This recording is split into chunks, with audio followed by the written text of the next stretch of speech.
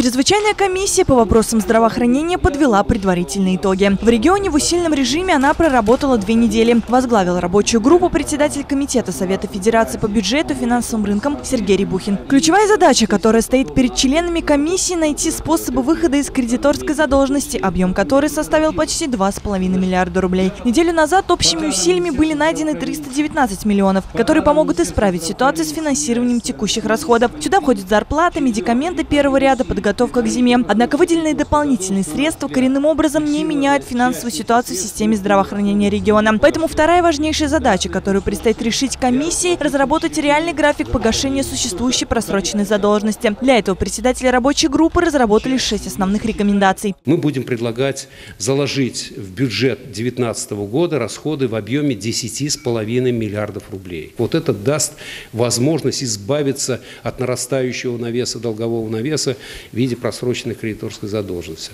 Это ключевая задача, важная задача. Кроме того, Минздраву Ульяновской области в кратчайшие сроки необходимо разработать типовые варианты штатного расписания для больниц и поликлиник. Ведомство по рекомендации комиссии также должно усилить предварительный контроль при проведении закупок лечебными учреждениями лекарств и изделий медицинского назначения. И даже на этом работа чрезвычайной комиссии в регионе не закончится. Мы считаем, что надо ее продолжить, эту работу, потому что мы как бы первых два этапа прошли.